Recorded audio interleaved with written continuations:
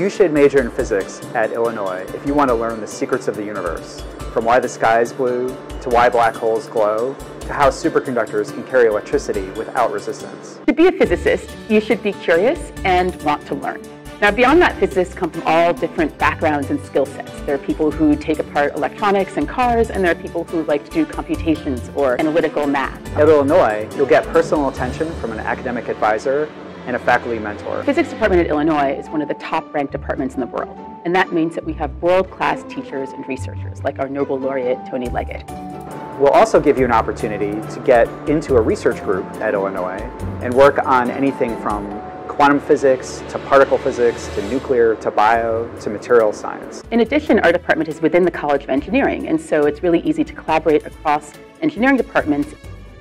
We offer foundational classes that integrate innovations from our physics education research group, like iClickers and the Smart Physics Online System, which allow us to focus classroom time on discussion and peer learning. We also develop new teaching technologies that are adopted by universities across the U.S., like AttoLab, which is a whole physics lab you can hold in your hand and students can use anywhere. Within the department, the student groups are really active. We have things like the physics van, where students go out to engage with classrooms and do experiments. We have very active Society of Students in Physics and Women in Physics program. As a physics major, you'll also gain exceptional quantitative and analytical reasoning skills, and you'll be poised to tackle the most complex challenges we face in science and in society. Physics, you gain broad knowledge of fundamental science and engineering, and you also learn how to solve complex problems.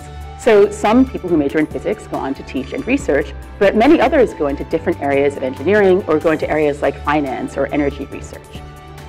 You can work in the private sector on next generation technologies like quantum computers, solar energy harvesters, or autonomous vehicles students get the opportunity to engage with their peers and also engage with learning in physics in really fun and different ways. Students and professors discover something new about the universe every day in the physics department at Illinois.